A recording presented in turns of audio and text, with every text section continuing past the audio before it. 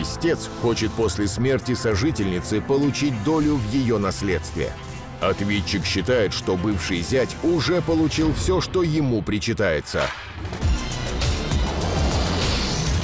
Прошу садиться. Слушается дело о признании имущества совместно нажитым и определении супружеской доли. Истец Белявцев Игорь Михайлович, ответчик Потапова Анна Павловна. Предъявлен встречный иск о применении э, срока исковой давности. Предъявлено заявление. Вы заявляете о пропуске срока исковой давности. Пожалуйста, истец, слушаю вас.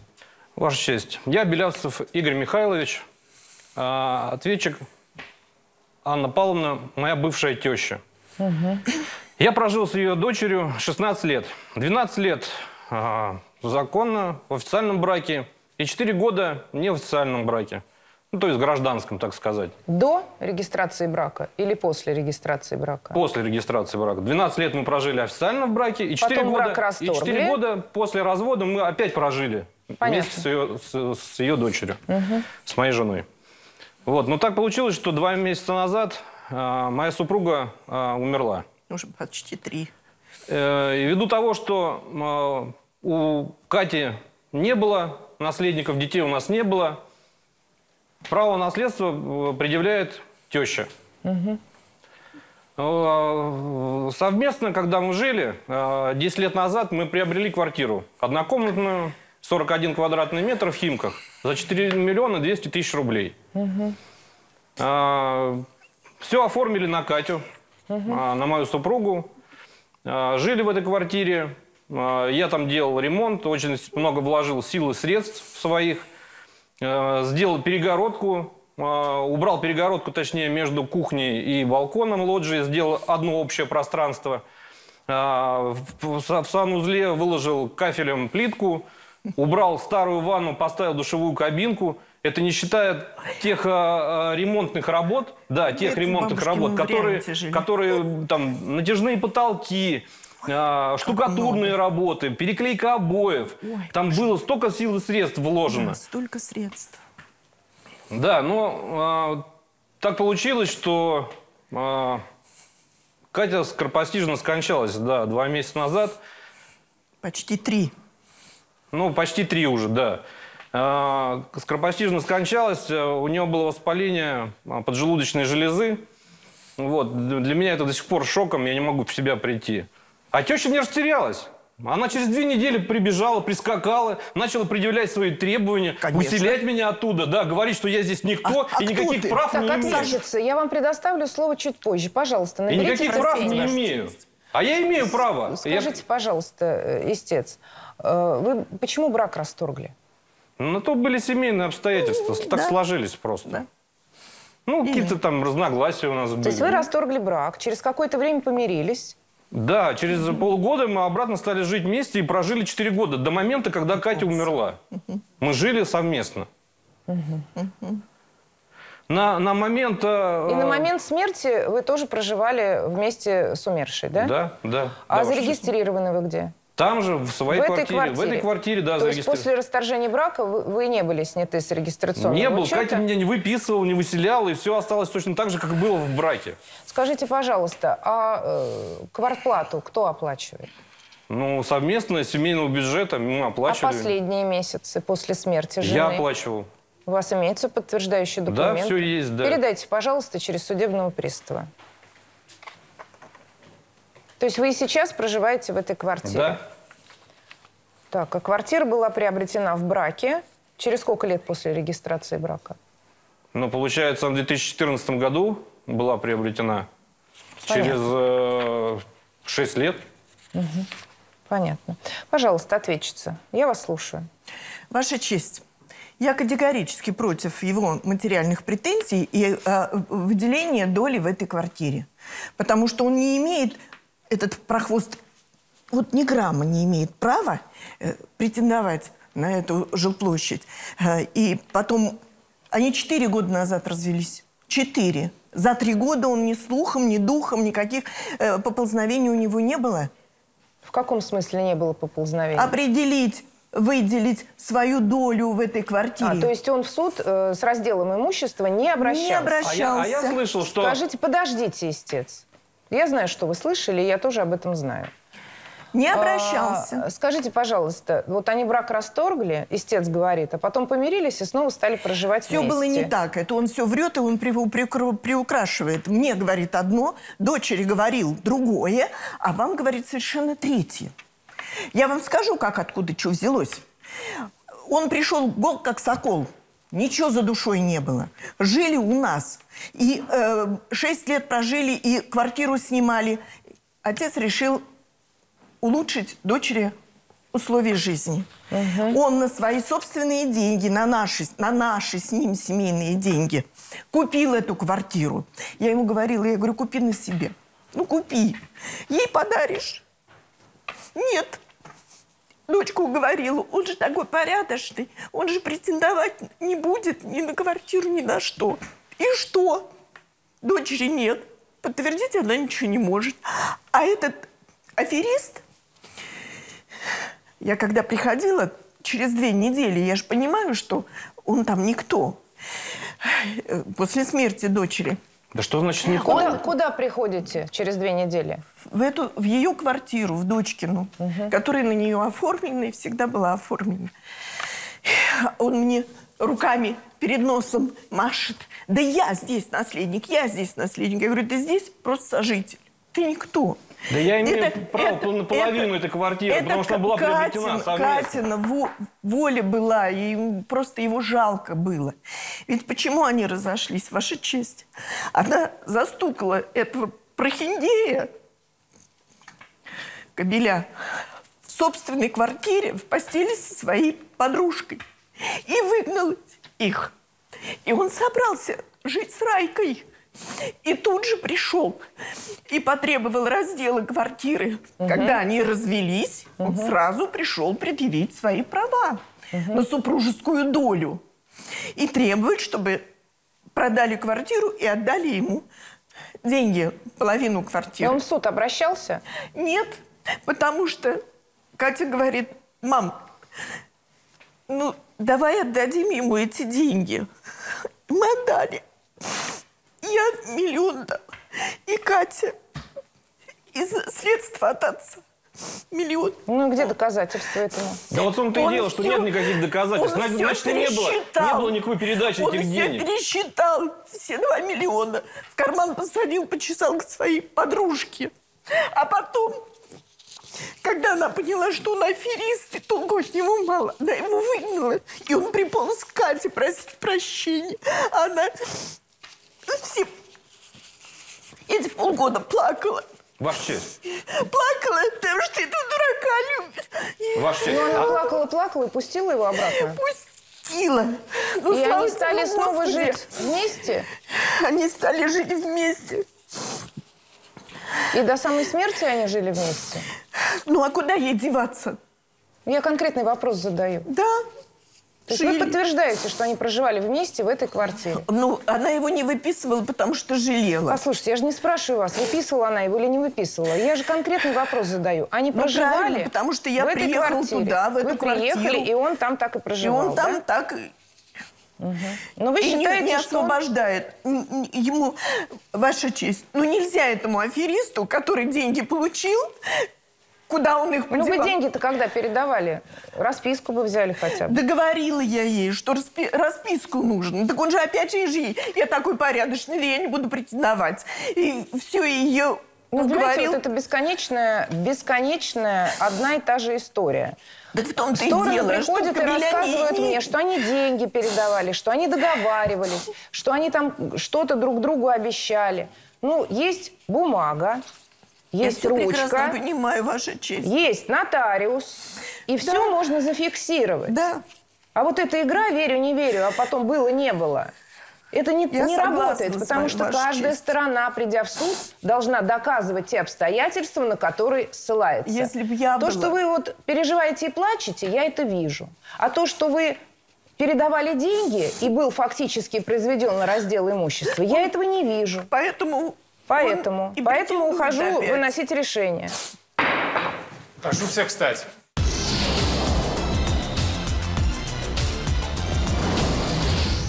Далее в программе. И самое ужасное, что я мог увидеть, это в центре комнаты ну, чужие мужские носки, явно не мои. То есть она сюда еще и мужиков водила. Девушка пообещала поддержать больного брата.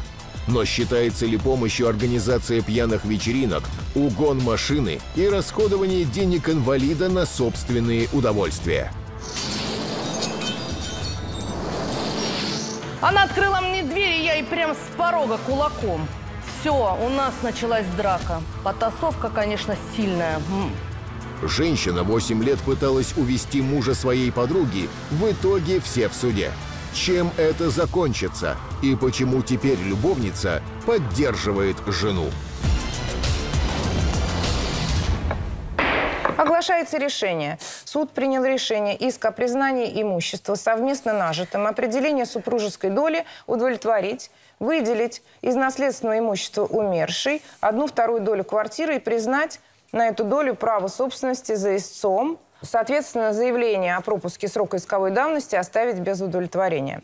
Разъясняю стороны, что действительно по закону в силу пункта 7 статьи 38 Семейного кодекса Российской Федерации к требованиям супругов о разделе общего имущества, брак которых расторгнут, применяется срок исковой давности 3 года. Однако срок исковой давности начинает течь не с момента расторжения брака, а с того момента, когда супруг узнал, либо должен был узнать о нарушенном праве. Если после расторжения брака бывшие супруги продолжают сообща пользоваться имуществом, неважно как, каким имуществом, это может быть недвижимое имущество, движимое имущество, то, что было приобретено в браке, банковский счет, например – то срок исковой давности в этом случае исчисляется с того дня, когда одним из супругов совершено некое действие, которое нарушает права другого супруга. В судебном заседании установлено, что истец продолжал пользоваться спорной квартирой, которая была приобретена в браке, и после расторжения брака переехал опять к своей бывшей жене, и они продолжали жить до ее смерти. То есть его право собственности на это имущество не нарушалось а фактически оно было нарушено только со смертью жены, тогда, когда э, ответчица, будучи ее наследницей, обратилась в нотариальную контору. Поэтому не подлежит применению срок исковой давности, так как права супруга на общее имущество не нарушалось до самой смерти. То есть срок исковой давности для него начал течь тогда, когда ваша дочь умерла. Поэтому исковые требования удовлетворены. Дело закрыто. Прошу всех встать. Решение суда. Иск удовлетворить. Во встречном иске отказать. Я считаю, что если бы в свое время мама моей супруги не залезла в наши отношения, и из-за этого бы и не случился бы этот развод. Ну, одним словом, теща, что говорить. А, лишний раз убеждаешься, что в наше время нужно на каждое действие иметь документ – нет документа, словеса дело не пришьешь. Печаль. Мой муж подложил меня под своего начальника. Ну что тут скажешь? Как за пять минут можно? Хуп! Ой, знаешь, тогда и за минуту можно. Вот так и живем. Что ни день, то история. У нас в квартире были любовницы. Что значит были любовницы? Я одна единственная была любовница вообще-то. Не пропустите. Дела судебные, новые истории.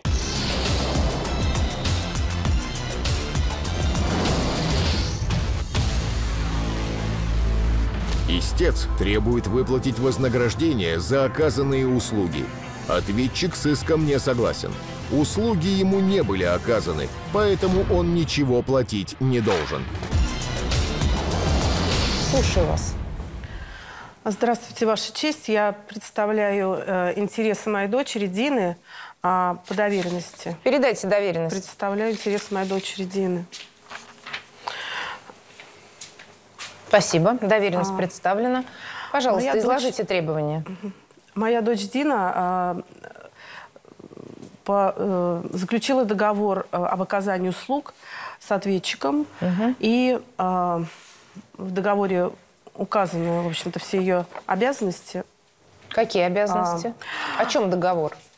Договор об оказании услуг сиделки. Mm. Вот. И э, по этому договору она должна э, была для ответчика убирать ежедневно квартиру, а, а, стирать, ну, в общем-то, и гладить белье, а, там готовить пищу, гулять с собаками, с собакой а, и, и сопровождать а, а, ответчика из дома. Дело в том, что ответчик – это мой сын.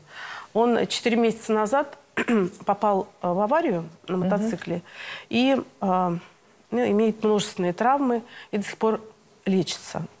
И поэтому ему сложно э, самому по дому э, э, ну, выполнять всякие работы. Он э, живет в отдельной квартире. И э, они с Диной заключили договор об оказании. То есть Дина согласилась э, ему помочь. И заключили договор вот, об оказании услуг сиделки. И э, вот договор есть. Передайте, пожалуйста, через судебного пристава.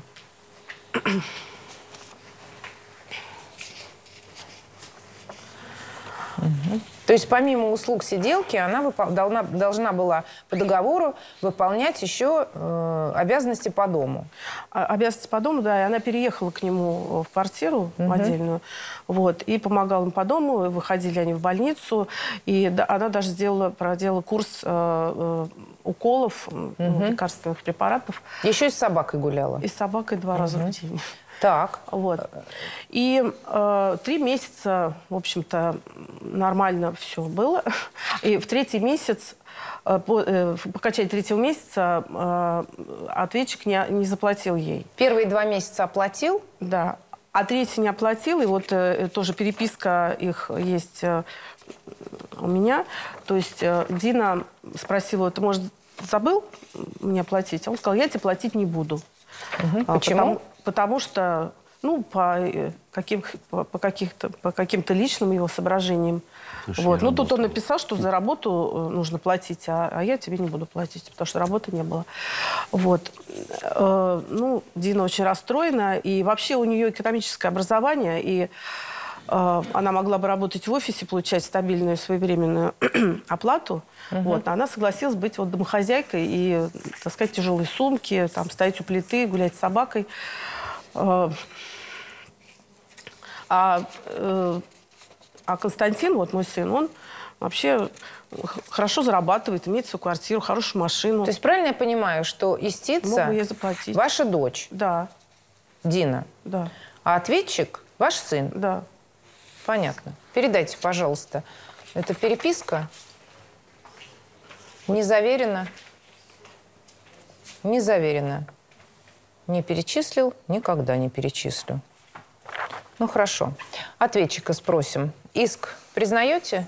Ваша честь, с иском я не согласен, так как э, за отсутствие работы, соответственно, не платят.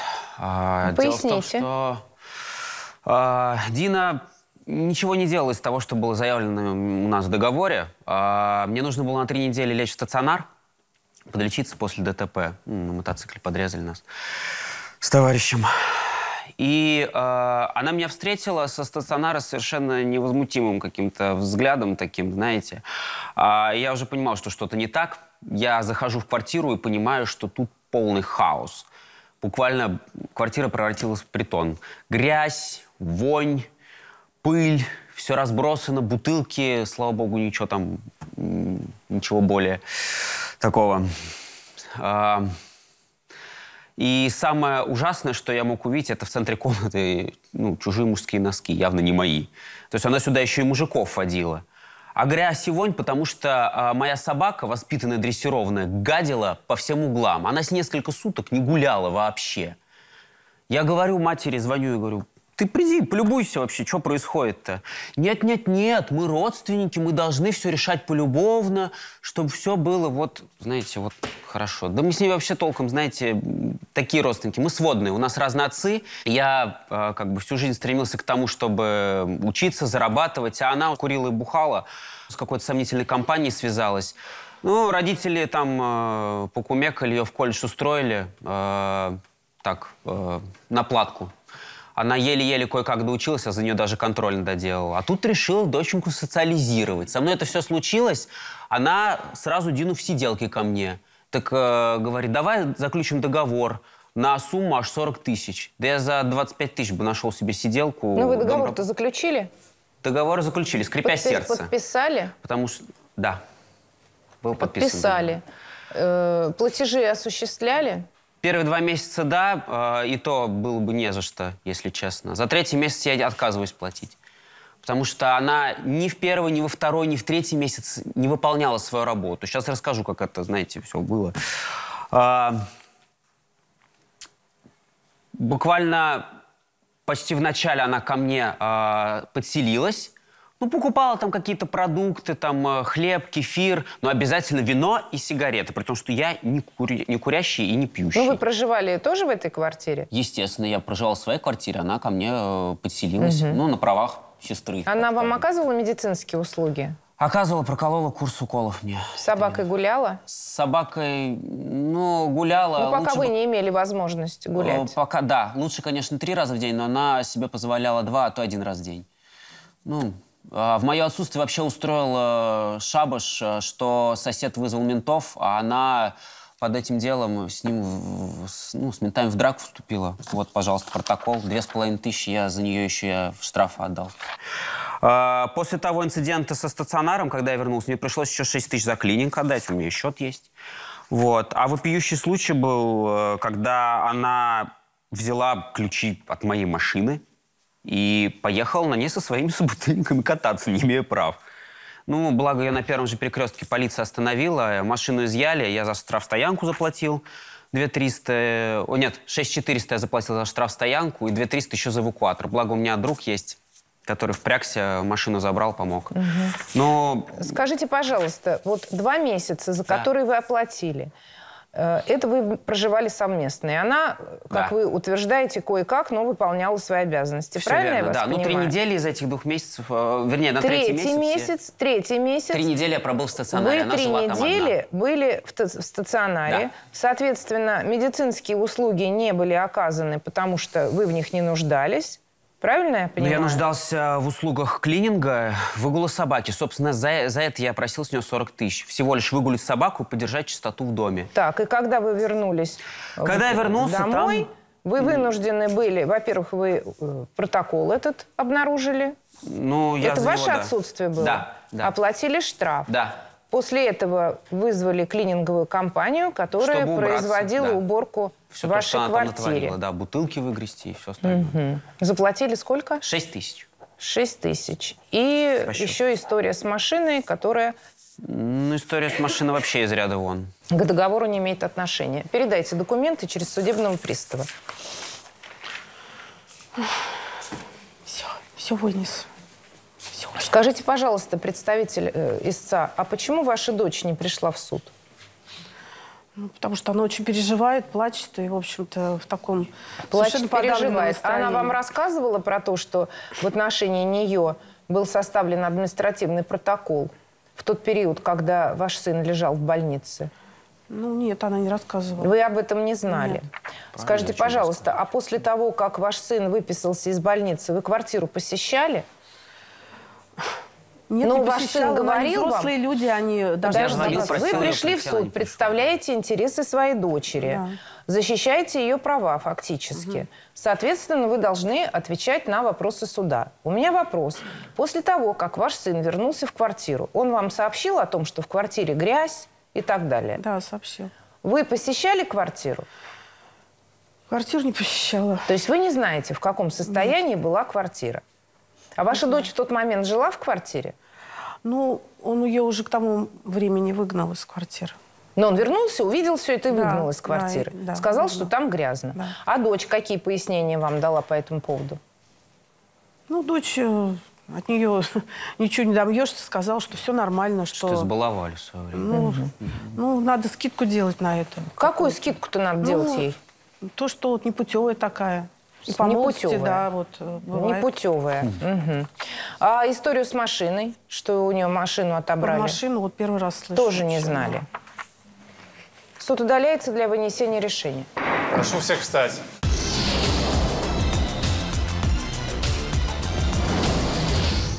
Далее в программе. Я решил ее пригласить в ресторан. Конечно. На детях с женой экономим, а по ресторанам с любовницей мы можем ходить. Восемь лет мужчина изменял жене с ее лучшей подругой. Теперь семейная пара встретилась в суде. Но зачем здесь любовница? Скоро узнаем. Оглашается решение суда. Суд принял решение иск о взыскании вознаграждения за оказание услуги оставить без удовлетворения. Э, В судебном заседании установлено, что с момента заключения договора прошло три месяца. За первые два месяца ответчик внес оплату в размере 40 тысяч рублей ежемесячно, то есть выплатил 80 тысяч рублей. За последний месяц он не заплатил э, и э, дал пояснение в судебном заседании о том, что последний месяц истица не оказывала услуги, которые предусмотрены договором. Когда э, он пребывал три недели, из этого последнего месяца, три недели он пребывал в стационаре, и когда вернулся в квартире, обнаружил, что квартира находится э, в непригодном для проживания состоянии, в результате чего он был вынужден вызвать клининговую компанию и потратил на уборку квартиры 6 тысяч рублей. Исходя из этого, суд делает вывод, что истица не выполняла надлежащие обязательства, которые были предусмотрены договором оказания услуг. Поэтому суд считает, что нет оснований для взыскания э, с ответчика в пользу истицы оплаты за последний месяц договора. Дело закрыто. Прошу всех встать. Решение суда. В иске отказать. Бедная моя доченька. Э, сын ее облапошил. Я вообще не верю э, во все, что он на нее наговорил. В очередной раз понадеялся на свою семейку. Лучше бы свою дочь воспитывали, чем потакать ей во всем. Вот и получили. В правовом конфликте побеждает тот, кто первым обратится к юристам. Спокойствие. Закон защитит вас. Если вы не можете вернуть свои деньги, Я передумал, и я не буду отдавать эти деньги. Придушу сейчас. если семейный скандал вот-вот превратится в развод, Иди сюда! Тебе сейчас покажу! Мало получил! обращайтесь в нашу юридическую консультацию. Про луну с неба, про цветы. Это все уже в прошлом. Давайте про раздел имущества поговорим. Это бесплатно.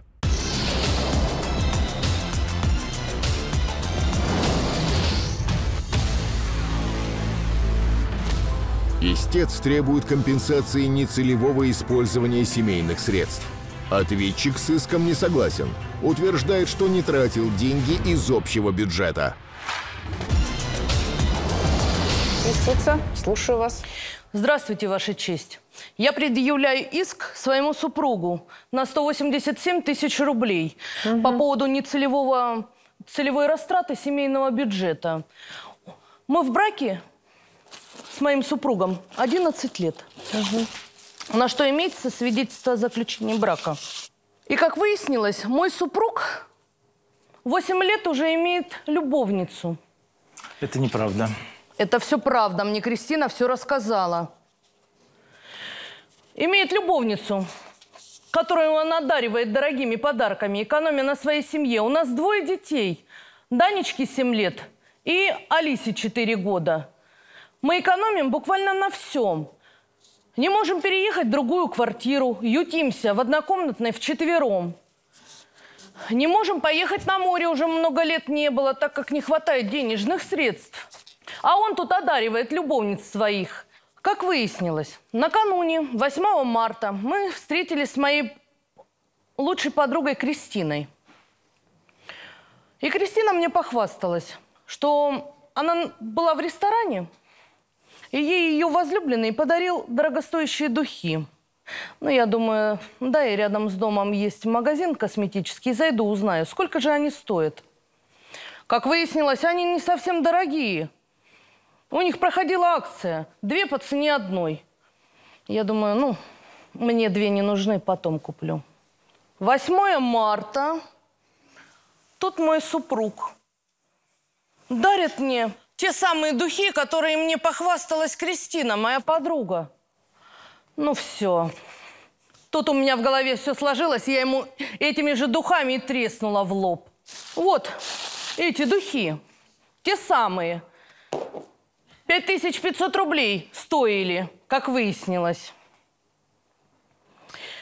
И тут я смекнула и побежала к Кристине домой.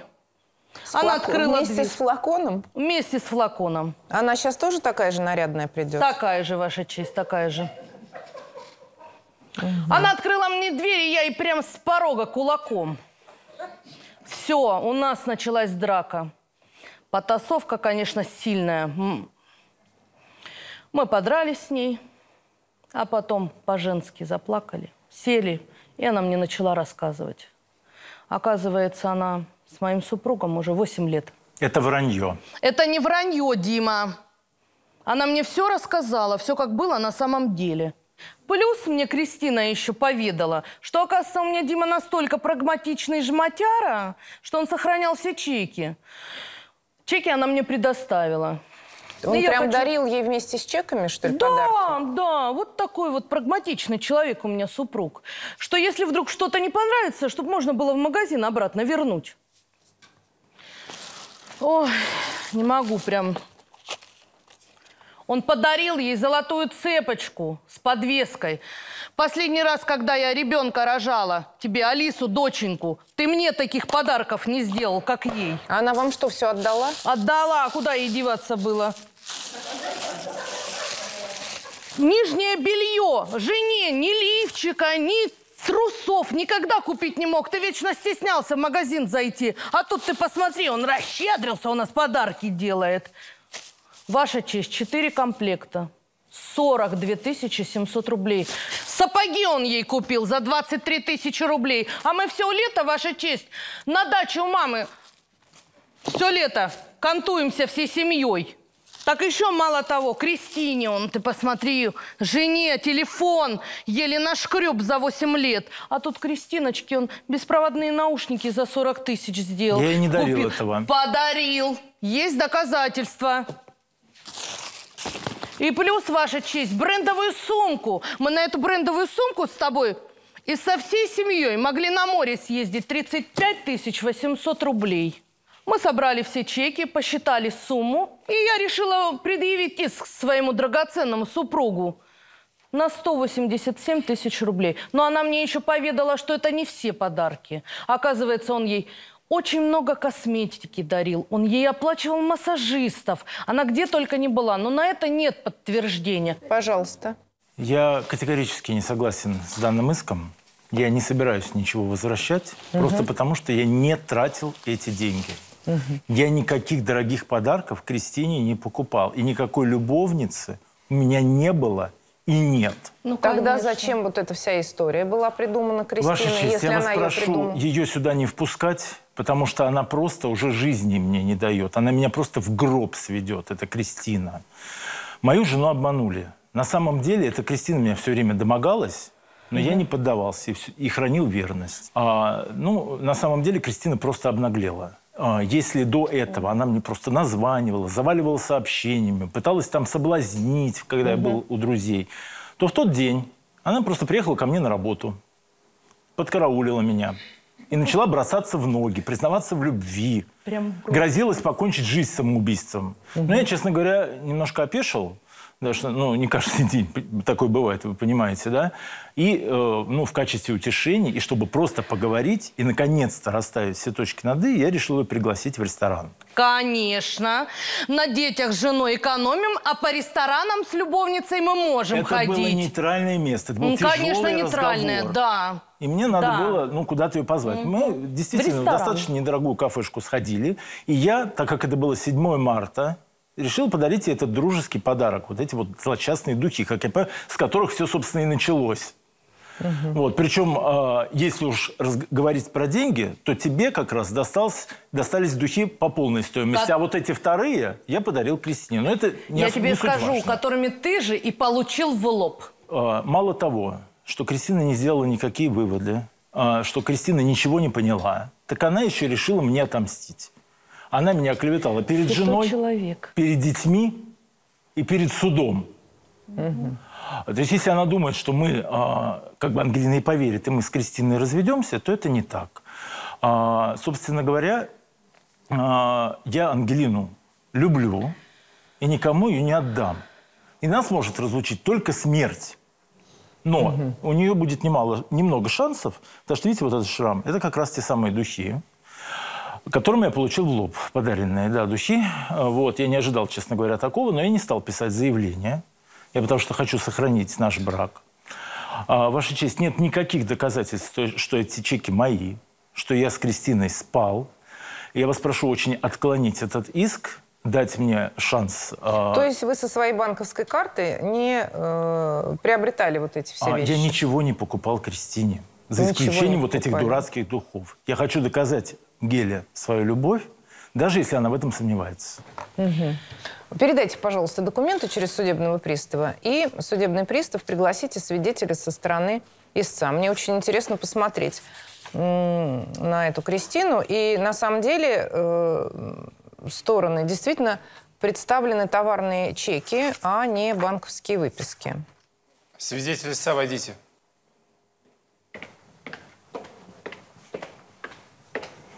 Представьте, ой, тоже, смотрите-ка, прям все, Здравствуйте, Ваша честь. все Меня зовут. Мальцева Кристина Максимовна.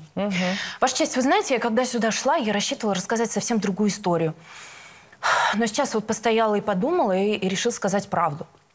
А правда в том, что, Геля, у меня с Димой ничего не было. Дима тебе никогда не изменял. Ни со мной, ни с другими женщинами. Димка, он действительно хороший человек. Он действительно преданный муж, настоящий мужчина. И правда в том, что он мне действительно нравился последние несколько лет. И я его добивалась. Я хотела быть с ним. То, что вы казались мне такими счастливыми, Гелька. Я смотрела на тебя. Ну и да, позавидовала. На самом деле, вот чисто позавидовала как женщина. Потому что, да, у меня были другие мужчины, но они меня не устраивали, они мне не нравились, они дарили мне дорогие подарки. А Дима мне ничего не дарил. Вот этот список, это все фальшь.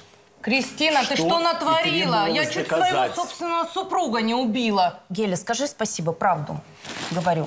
А вот эти вещи-то все, это чье? тебе Не этими надо. духами Не сейчас в надо. лоб. Ваша честь, Это можно уже- я продолжу? Да. И потом а, Дима, он пригласил меня в ресторан. Я думаю, вот, солнце мне улыбнулось, и это мой шанс. Мы с ним пришли в ресторан. Он подарил мне эти духи, ну и в очередной раз сказал, что у нас с ним ничего не может быть, что он любит свою супругу, и что семью он не бросит. Вот такой у нас был разговор, и я уже тогда подумала, я не знаю, что на меня нашло, ваша честь, что такое со мной произошло, честно не знаю. Я тогда подумала, ну, надо мне уже прям действовать агрессивно, и вот как раз на руку мне сыграла вот эта ситуация, когда Геля пришла ко мне домой, и мы с ней подрались, и э, уже вот вместе поплакали, обсудили эту ситуацию. Это было мне действительно очень на руку. И вы Димочка. придумали эту всю историю с вещами? То есть это Да, ваши вот вещи? Мне просто, знаете, вот, вот так в голову сразу пришла эта история, я симпровизировала, рассказала, я знала, что ее это заденет. Действительно, вот у моей подруги, я тебя люблю, Геля, у моей подруги, она... У нее есть Я боль. вижу. Она очень волнуется и переживает, потому что ее муж мало зарабатывает. И они поэтому постоянно ссорятся. И я думала, что если я придумаю сейчас эту историю, то она его бросит, и мы с Димкой будем вместе и будем счастливы. Вот так, Ваша честь. Но потом я подумала о том, что есть что-то большее, чем мои желания, что если уж он настолько любит ее, и я ведь прости два меня, года за ним ходила, сердца. добивалась. Она гадина, Дим. Я, прости меня. Я тебя чуть не убила. Вы же в суде находитесь. Простите, Мне что честь. делать с вами?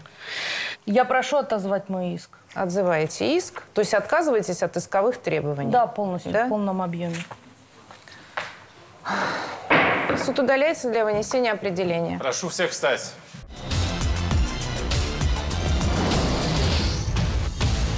Прошу садиться. Суд вынес определение о прекращении дела э, по закону. Дело может быть прекращено, истец может отозвать иск, ответчик может признать иск, либо стороны могут закончить дело э, миром, то есть заключить мировое соглашение. Э, При этом при отказе истца от иска суд выносит определение о прекращении искового производства, о прекращении дела. Что, собственно, я и делаю в этом Ну, слава случае. богу. Дело закрыто. Прошу всех встать. Решение суда. Иск отозван. Ну и гадина же эта Кристина. Мало того, она у меня мужа хотела увезти. Так я еще своего супруга чуть не убила. Я безумно люблю своего мужа Димочку. Никому его никогда не отдам. Я считаю, что женская дружба вообще ни к чему хорошему не приводит. Ну, Геля, да, она у меня вот такая вспыльчивая, но я все равно ее люблю, никому ее не отдам. Чтобы не пришлось рассказывать всему миру свои интимные тайны, Это вообще в мире животных. Мы живем троем. повышайте правовую грамотность. На то семья, собственно, и семейные отношения существуют, чтобы договариваться. Внимательно слушайте, что говорит Елена Кутьина. Не написано такого в законе, что если муж много зарабатывает, может тратить на что хочет без согласия жены. Каждый будний день на нашем канале. Дела судебные, новые истории.